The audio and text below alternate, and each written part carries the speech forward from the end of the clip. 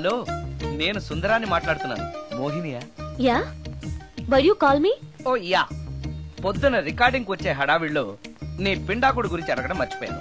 Sorry ఏమనుకోవద్దు. అనుకోవద్దా? అనుకోవద్దని చెప్పడానికి నువ్వెవరు? నేను ఏదైనా అనుకుంటాను. నా ఇష్టం. నీకు కష్టమైతే చెప్పు ఇప్పుడే వెళ్ళిపోతాను. అంత మాట అనకు మోహిని. నువ్వేం చేసినా నాకు ఇష్టమే. దయచేసి వెళ్ళిపోతానని మాత్రం అనకు. Please please please. It's okay ఈసారికి నిన్ను క్షమిస్తున్నాను. మరోసారి పిండం గురించి మర్చిపోయి వెళ్ళిపోయావో? నీకు పిండం పెట్టేసి నేను వెళ్ళిపోతా. ఆ, ఓ సారీ ఇంకెప్పుడు అలా జరగదు. ఆ, ఒక్క నిమిషం. ఆ, చెప్పు.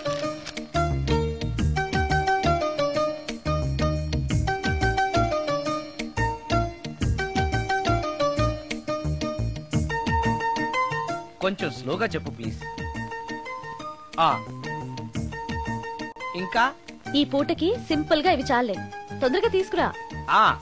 ఆ, చెప్పడం మర్చిపోయాను. రెండు కోల్డ్ యాక్ట్ రెండు క్రోసిన్ టాబ్లెట్స్ కూడా. ఇదేంటి? దెయ్యాలకు కూడా జలుబులు జ్వరాలు వస్తాయా? నీ అర్థం లేని ప్రశ్నలకి జవాబులు చెప్పడం వల్ల జలుబు. సిగ్గు లేకుండా నువ్వు బట్టలు తీసేసి ఇంట్లో తిరగడం చూసి జ్వరం వచ్చింది. ఆ అంటే నువ్వు చూస్తూ ఉంటావని నాకు తెలియదు కదా.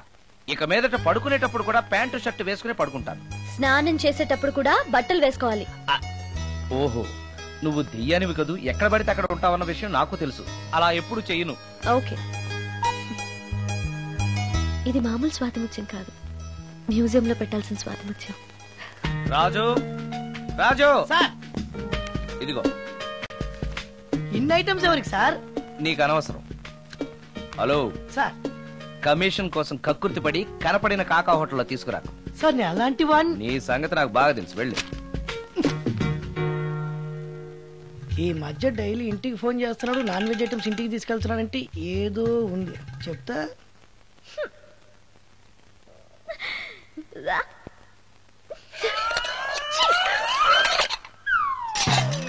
ఆ?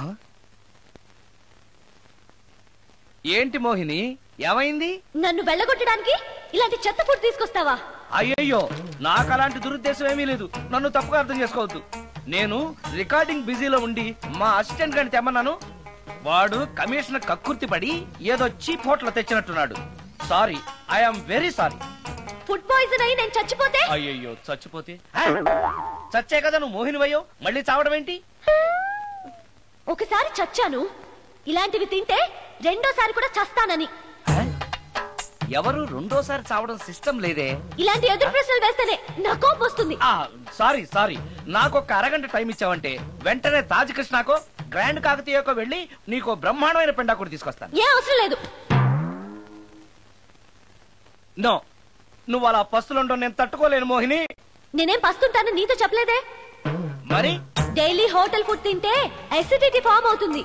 నా పరిస్థితి కూడా అదే. నాకు ఇంటి ఫుడ్ కావాలి. ఇంటి ఫుడ్ ఇప్పుడు మనకి ఇంటి ఫుడ్ కావాలంటే ఎవరన్నా పక్కింటి ఫ్లాట్ వంటింటి కన్నం వేయాలి. అది నీ వల్ల కాదు. ఆ, తెలుసు కదా? మరి ఇప్పుడు ఏం చేద్దాం? నువ్వే వండి పెట్టు. ఆ నేనా? వంట. నాకు కాఫీ కాయడం వేడి నీళ్ళు కాయడం తప్ప వంట రాదు ఇంట్లో ముసల్ది లేదు. No problem. నేను వాక్ మెల్లో రికార్డ్ చేసిస్తాను. అది విని నువ్వు చేసే ఆ ఇది పద్ధతి. ఇలా అన్నావు బాగుంది. నువ్వు ఆ పని మీద ఉండు.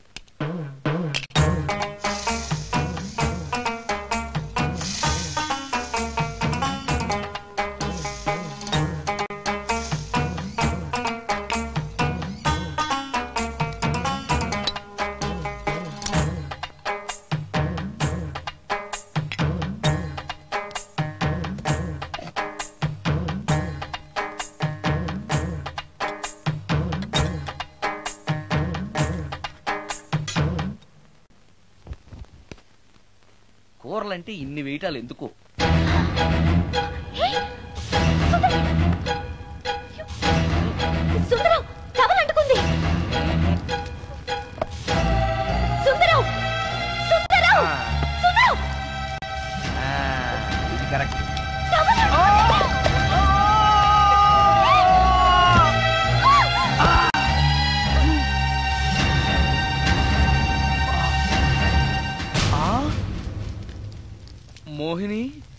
నువ్వు.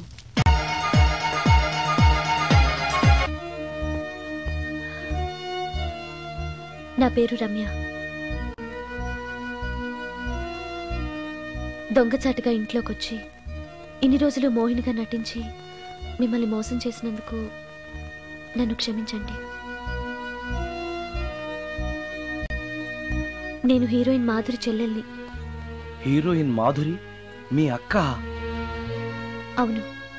కొత్త హీరోయిన్లను దిగుమతి చేసుకుంటున్న ఈ రోజుల్లో సినిమా ఫీల్డ్లో తనకిక హీరోయిన్ అవకాశాలు రావనే నిజాన్ని మా అక్క తట్టుకోలేకపోయింది. నేను? మదర్ క్యారెక్టర్ చేయాలా? What you mean? Me hero hit అయిన అన్ని సినిమాల్లోనూ నేనే హీరోయిన్ అన్న సంగతి మర్చిపోయాడా? మీ హీరో ఏజ్ నా ఏజ్కి రెట్టింపు కన్నా ఎక్కువ అన్న విషయం గుర్తుంచుకోమనండి. అక్క? అక్క ఆంటీ అని పిలిస్తే నీ ఏజ్ని బట్టి నా ఏజ్ని క్యాలిక్యులేట్ చేస్తారు. మేడం అని పిలు. ఐదు లక్షలు ఇస్తానన్నారు. ఇస్తానన్న డబ్బు వద్దండం ఎందుకని? షటప్ ఈ రోజు అమ్మ క్యారెక్టర్ వేయడానికి ఒప్పుకుంటే రేపు అమ్మమ్మ క్యారెక్టర్ వేయమని ఇంకొకరు అడుగుతారు. డబ్బు కోసం నా ఇమేజ్ని చంపుకోలేను. నా చెల్లెల్ని హీరోయిన్ని చేసి నేను హీరోయిన్గా సంపాదించిన దానికంటే ఎక్కువ సంపాదిస్తాను. ఇలాంటి వెధవ సలహాలు ఇవ్వకు. వెళ్ళో. కాలేజ్కా? ఈ రోజు నుంచి నువ్వు కాలేజ్కి వెళ్ళనక్కర్లేదు. అదేంటక్క? నిన్ను హీరోయిన్ని చేయాలనుకుంటున్నాను. నాకు ఆర్టిస్ట్ అవ్వాలని లేదు. నాకు సినిమాలంటేనే అసహ్యం. నీ నిర్ణయం నాకు అవసరం లేదు. ఇది నా కన్ఫర్మేషన్. చెప్పింది విను. నువ్వు హీరోయిన్ అయ్యి డబ్బు తప్ప ఏం సంపాదించగలిగావు? నీలాగా గ్లామర్ పిచ్చితో జీవితాన్ని నాశనం చేసుకున్న వాళ్ళని ఎంతమందిని నేను చూశాను. నువ్వు కూడా? షటప్ నాకు కావాల్సింది నీ సజెషన్ కాదు. నా డెసిషన్ చెప్పానంతే. చెప్పింది వినకపోతే చెప్పే పద్ధతి వేరేలా ఉంటుంది.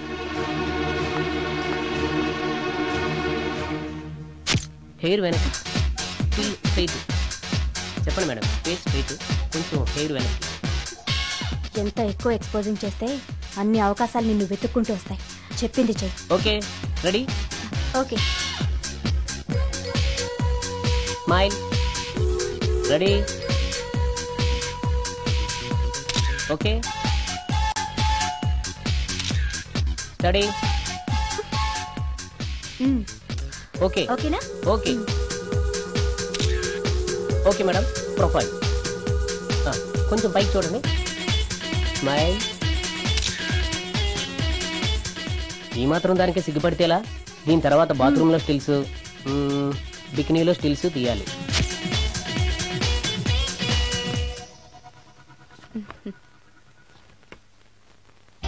ఎలా ఉంది? ఫుల్ బాటిల్ తాకిన ఎక్కని కిక్కు ఈ ఫోటోలు చూస్తే ఎక్కేస్తుంది. నిజంగా? ఎక్సలెంట్. ఏ యాంగిల్లో ఫోటోలు చూసినా అద్దరిపోతుంది చెప్పాను కదా నా చెల్లెలు నన్ను మించిన అందగత్తని.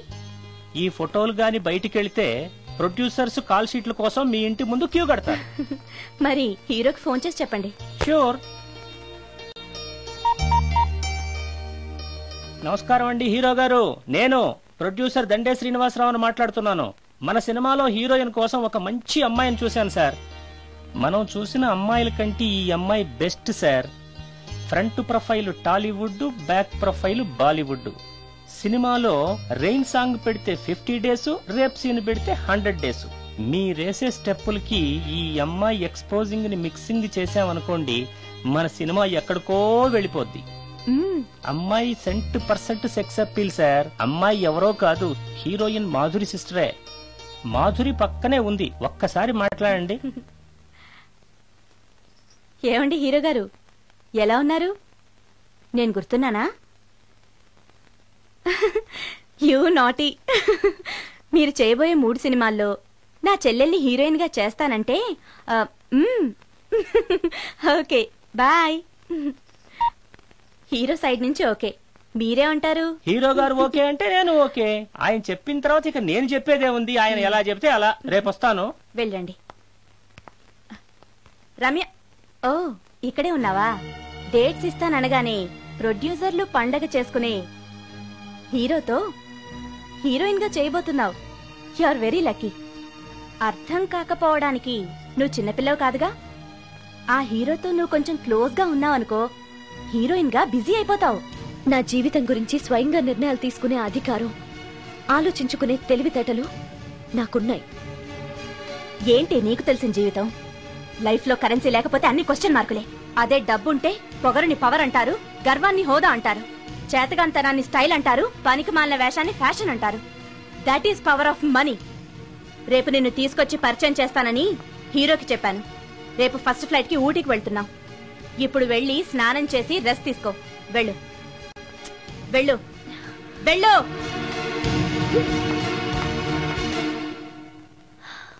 అలాంటి పరిస్థితుల్లో ఇంట్లోంచి పారిపోయి వచ్చేశాను ఎక్కడికి వెళ్ళాలో నాకు తెలియలేదు. దారిలో మీ కారు కనిపించింది. మీకు తెలియకుండానే అందులో ఎక్కి దాక్కున్నాను.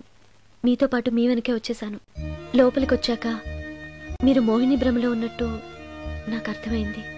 నువ్వేం బాధపడకు. ఏది ఏమైనా నాకు మంచి ఫ్రెండ్ దొరికినందుకు చాలా సంతోషంగా ఉంది. ఇన్ని రోజులు నాకు షెల్టర్ ఇచ్చినందుకు థ్యాంక్స్ నేను వెళ్తాను. ఆగు రమ్య ఎక్కడికి వెళ్తావు తెలీదు. ఎప్పటికైనా వెళ్ళాల్సిందే కదా. వెళ్తాను. చూడు నువ్వు ఆల్రెడీ కష్టాల్లో ఉన్నావు. బయటికెళ్తే ఇంకా ప్రాబ్లం ఫేస్ చేయాల్సి వస్తుంది. నేను నీ ప్రాబ్లమ్స్ సాల్వ్ చేయలేకపోవచ్చు. కానీ ఒక ఫ్రెండ్గా నీకే సహాయం కావాలన్నా చేస్తాను. థ్యాంక్ యూ ఉంటాను. కానీ నేను ఇక్కడ ఉన్నట్టు ఎవరికీ తెలియకూడదు? తెలిస్తే నీకు కాదు నాకు ప్రాబ్లం. ఏ? ఆ? నాలాంటి బ్రహ్మచారింట్లో ఇంత అందమైన అమ్మాయి ఉంటే చూసే వాళ్ళందరూ ఏమనుకుంటారు? ఆ.